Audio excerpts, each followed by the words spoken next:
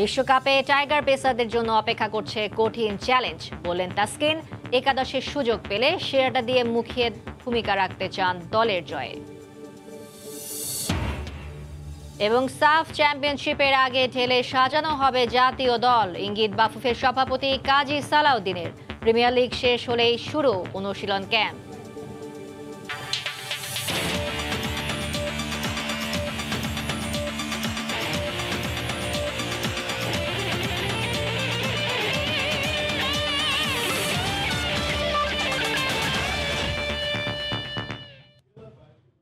বিশ্বের নানা প্রান্তের খেলাধুলার খবর নিয়ে আমাদের নিয়মিত আয়োজন খেলার সময় আর এই আয়োজনে আপনাদের সঙ্গে আছি আমি ফারজানা মুমু। এবার ক্রিকেট প্রসঙ্গ। ওমান, দুবাইয়ের কন্ডিশন বাংলাদেশের মতো হলেও বিশ্বকাপে পেসারদের জন্য চ্যালেঞ্জ অপেক্ষা করছে। বিশ্বকাপ স্কোয়াডে জায়গা করে নিয়ে উচ্ছ্বসিত তাসকিন আহমেদ জানালেন, একাদশে সুযোগ পেলে খেলতে চান সেরাটা দিয়ে। টানা জয়ের মধ্যে থাকায় এবারের বিশ্বকাপে বাংলাদেশের ভালো সম্ভাবনা রয়েছে বলেও জানান তিনি। সবাই যেটা ভালো মনে করছে, ওটাই করছে। মুদ্রার উল্টো পিঠটা দেখা আছে পেসার তাসকিন আহমেদের। বিনা মেঘে বজ্রপাতের মতো গেল বিশ্বকাপের দল থেকে বাদ পড়েছিলেন ছন্দে থাকার পরও। সেখান থেকে ঘুরে দাঁড়িয়েছেন কঠোর পরিশ্রম করে নিজেকে তৈরি করেছেন। সামনে আরও একটি বিশ্বকাপ এবার আর আক্ষেপে পড়তে হয়নি। আছেন পনেরো সদস্যের মূল স্কোয়াডে বিশ্বকাপের দল ঘোষণার পর মুখোমুখি হলেন গণমাধ্যমের। জানালেন, বিশ্বকাপ স্কোয়াডে জায়গা করে নিয়ে কতটা উচ্ছ্বসিত এই পেসার? দুইটা স্মৃতির ডিফারেন্ট ডিফারেন্ট ইয়ে ছিল বাট যেগুলা, ওগুলো আসলে অতীত হিসাবে গিয়েছে, তো আমি বর্তমানে ফোকাস করতে চাই। আমি অনেক খুশি যে আমি বিশ্বকাপ স্কোয়াডে সুযোগ পেয়েছি। কন্ডিশনের কারণে ওই লাস্ট ম্যাচটা খেলা হয়েছে। প্রিপারেশন ওয়াইজ ওটিস গিপসন এটার কম ধরে তখন হয়তো ইয়র্কার বা লেন্থ বলের এক্সিকিউশনটা অনেক ইম্পর্টেন্ট হবে। তো ডেফিনেটলি আইসিসির ইভেন্ট মাথায় থাকবে যে ফ্ল্যাট ট্র্যাক বা স্পোর্টিং ট্র্যাক হবে। তো চ্যালেঞ্জিংও হবে বোলারদের জন্য। বললাম, দেখ, আমি ওইভাবে তো কোনো সেলিব্রেশন করা হয়নি একবারই করা হয়েছিল মাস্টারি ভাইয়ের সাথে। তো করলে ওইটাই করতে পারিস। পরে বলছে ঠিক আছে এটাই। আসন্ন টি টোয়েন্টি বিশ্বকাপে টাইগারদের নিয়ে আশাবাদী তাসকিন। ইতিবাচক ক্রিকেট খেলে ধারাবাহিকভাবে এগিয়ে যাওয়াই লক্ষ্য তাদের। তারেক হাসান শিমুল সময় সংবাদ ঢাকা। স্ত্রী তামিমা তাম্মির স্বপ্ন পূরণে আবারও জাতীয় দলে খেলতে চান অলরাউন্ডার নাসির হোসেন। সেই লক্ষ্যে ঘরোয়া ক্রিকেটে সর্বোচ্চ রান সংগ্রাহক হতে চান এই ক্রিকেটার। আশা রেখেছেন বিশ্বকাপে টাইগার স্কোয়াড নিয়ে। ফিনিশিংয়ে তরুণরা প্রত্যাশা পূরণ করবে বলেও আশা তার। Iowa. দেশের ক্রিকেটে উজ্জ্বল প্রতিভা নাসির হোসেন। ফিনিশিংয়ে টাইগার স্কোয়াডে অন্যতম ভরসা ছিলেন একটা সময়। জাতীয় দলের স্থানটা হারিয়েছেন ইঞ্জুরি আর নানান বিতর্কিত কাজে। ঘরোয়া ক্রিকেটেও এখন অনেকটাই অনিয়মিত। তবে আশা ছাড়েননি এই অলরাউন্ডার স্বপ্নটা এখনও আছে লাল সবুজ জার্সি গায়ে জড়ানোর। নতুন জীবন শুরু করেছেন বেশ কিছুদিন হলো। স্ত্রী তামিমা তাম্মির স্বপ্ন টাইগারদের হয়ে মাঠ মাতাবেন নাসির। সেই দৃশ্য গ্যালারিতে বসে দেখবেন তিনি। সে লক্ষ্যেই নিজেকে তৈরি করছেন নাসির। নভেম্বর থেকে শুরু হবে ঘরোয়া ক্রিকেটের ব্যস্ততা। তার আগে ফিটনেস ঠিক করছেন নিজের ট্রেনারের সাথে কাজ করে। ঘরোয়া ক্রিকেটে হতে চান সর্বোচ্চ রান সংগ্রাহক। চেষ্টা করব যে, যতদিন ক্রিকেট খেলব, অবশ্যই চেষ্টা করব যে আমি এবার ন্যাশনাল টিমে কামব্যাক করি। এটাই আমার মনে হয় যে সব প্লেয়ারের স্বপ্ন এবং আমারও স্বপ্ন যে আমি আবার যাতে ন্যাশনাল টিমে কামব্যাক করি। ঘরোয়া লিগ শুরু হবার টার্গেট আসলে আমি সবসময় ঘরোয়া লিগে চেষ্টা করি যে আমি টপ রান গেটার হব। এটা আমি সবসময় চেষ্টা করি। সো এবারকাও যখন শুরু হবে তখন এটাই আমার টার্গেট থাকবে যে আমি বাংলাদেশের টপ রান গেটার হব। অক্টোবরে বিশ্বকাপ খেলতে দুবাই যাবে টাইগাররা। এরই মধ্যে পনেরো সদস্যের দল দিয়েছে বিসিবি। বিশ্বমঞ্চে ফিনিশিংয়ে সোহান আফিফ শামীমরা আস্থার প্রতিদান দিবে বলেও মত তার। প্রত্যাশা রাখেন বিশ্বকাপে টাইগারদের ইতিবাচক ক্রিকেট খেলার। যেই টিম হয়েছে অবশ্যই ভালো টিম হয়েছে এবং সবাই ক্যাপাবল ইনশাল্লাহ আমি বিশ্বাস করি যে টি টোয়েন্টিতে আমরা ভালো রেজাল্ট করব। বাংলাদেশ যদি এখানে ওয়ার্ল্ড কাপও জিতে, এটা আমার মনে হয় না যে সবাই মানে অসম্ভব কোনো কিছু। কারণ টি টোয়েন্টি এমন একটা খেলা, এখানে বড় টিম আর ছোটো টিমের মার্জিনটা অনেক কম থাকে। সো আমি বিশ্বাস করি যে বাংলাদেশ মেন যেসব জিনিস আপনার বলিং ফিল্ডিং ব্যাটিং এই তিনটা পার্ট যদি আপনি ভালো খেলেন বা ভালো করেন ভুল কম করেন তাহলে অবশ্যই জিতার চান্সেস আমাদের অনেক বেশি থাকে। গেল তিনটি সিরিজ জয় বিশ্বকাপে বাংলাদেশকে মানসিকভাবে এগিয়ে রাখবে বলেও মনে করেন নাসির। তারেক হাসান শিমুল সময় সংবাদ ঢাকা। চট্টগ্রামের জোহর আহমেদ চৌধুরী স্টেডিয়ামে চার দিনের ম্যাচে এইচপি দলের বিপক্ষে টস জিতে ব্যাট করছে এ দল। এই মুহূর্তে সেখানে আছেন রিপোর্টার শফিক মাহমুদ। ম্যাচের সবশেষ খবর জানতে আমরা এখন সরাসরি যোগ দিচ্ছি তার সঙ্গে। শফিক।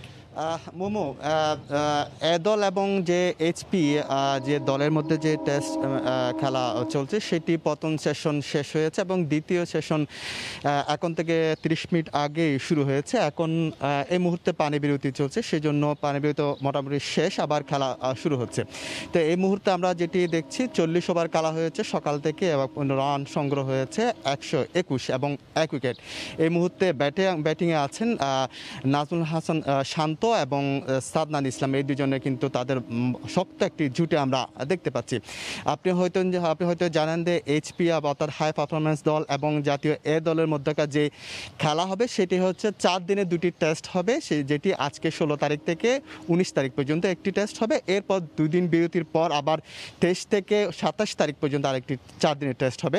এরপর আর তিন দিন বিরতি থাকবে। বিরতির পর আর কিন্তু তিনটি ওয়ানডে ম্যাচ হবে এইদের মধ্যেকার।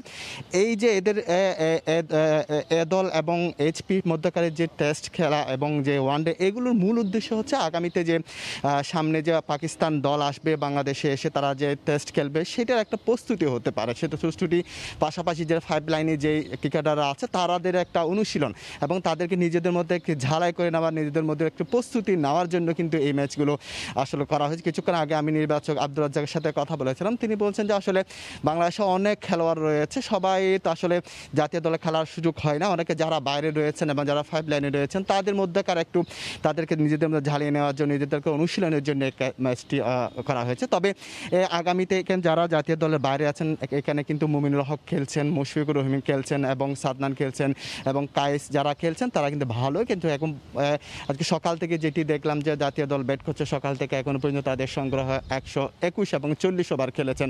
অনেক ভালোই খেলছেন তারা, তাদের একটু শক্ত জুটি রয়েছে, শান্ত এবং সাদনানের মধ্যকার।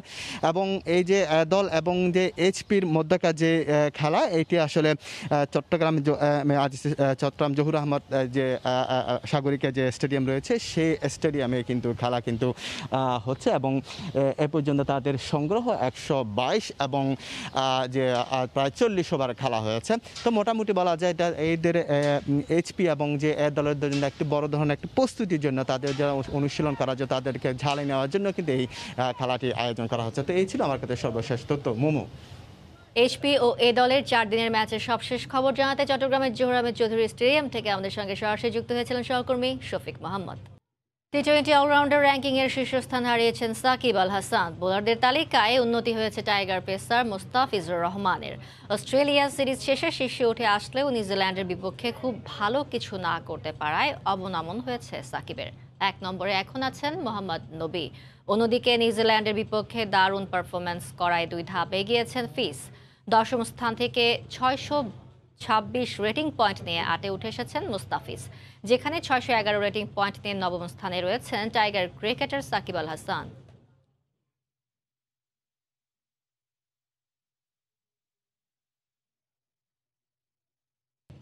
দেশের ফুটবল প্রসঙ্গ।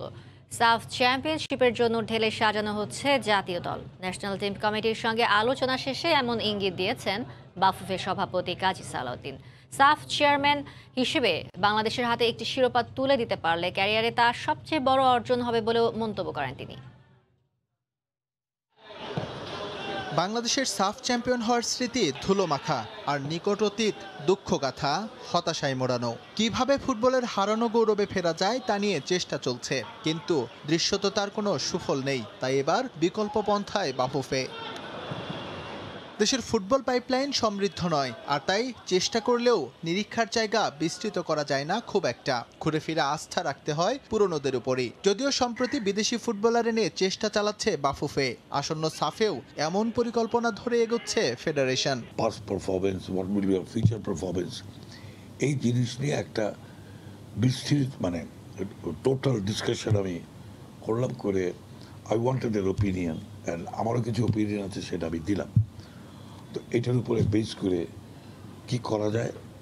We have taken another forty eight hour twenty four hours যে প্রোজ অ্যান্ড কনস চিন্তা করে কীভাবে টিমটাকে আবার করে রিঅর্গানাইজ করা যায় কি কি করা যায়? চতুর্থ মেয়াদে বাফুফের সভাপতি কাজী সালাউদ্দিন তিনি সাফেরও চেয়ারম্যান। তার সময়ে বাংলাদেশ এই আসরে অংশ নিয়েছে তিনবার যার প্রত্যেকটিতেই বাদ গ্রুপ পর্ব থেকে। সভাপতি হিসেবে একটি ট্রফি নিচতলের কাপ্তানের কাছে তুলে দিতে না পারার আক্ষেপটা তার ব্যাপক। দেখেন আমার ফুটবল লাইফের দ্য বিগেস্ট স্যাটিসফ্যাকশন হবে অ্যাজ সাফ প্রেসিডেন্ট আমি যদি বাংলাদেশের ক্যাপ্টেনের হাতে ট্রফিটা দিতে পারি।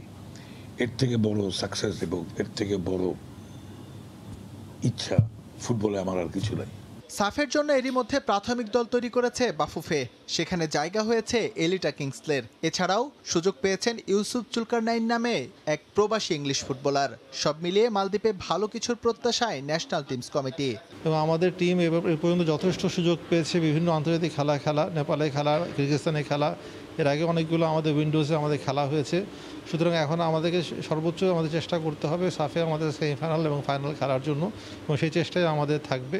এক অক্টোবর শুরু হবে সাফ চ্যাম্পিয়নশিপ। প্রথম দিন শ্রীলঙ্কার মুখোমুখি হবে বাংলাদেশ। কিরগিজস্তানের সাথে আমাদের গোল খাওয়াটা এস এম ইকবাল সময় সংবাদ ঢাকা।